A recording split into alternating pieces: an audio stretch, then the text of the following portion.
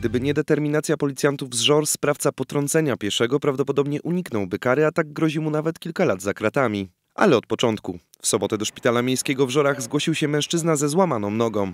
Lekarze stwierdzili, że do złamania mogło dojść w wyniku potrącenia przez samochód. Na miejsce wezwano policjantów. Zastali tam nie tylko e, poszkodowanego, ale również e, dwie e, kobiety, które mu towarzyszyły.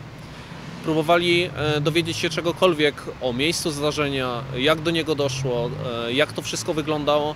Natomiast mężczyzna nie potrafił, może był w szoku, nie potrafił e, za bardzo opowiedzieć o tej sytuacji. Policjanci jednak nie dali za wygraną i rozpytali będące z poszkodowanym kobiety oraz personel szpitala. Kobiety twierdziły, że były w samochodzie, gdy doszło do potrącenia, ale nie znały personaliów kierowcy. Później okazało się, że po sprawdzeniu m.in. monitoringu szpitala odnaleziono i auto, i kierowcę będącego potencjalnym sprawcą. Udało się e, znaleźć sprawcę tego zdarzenia.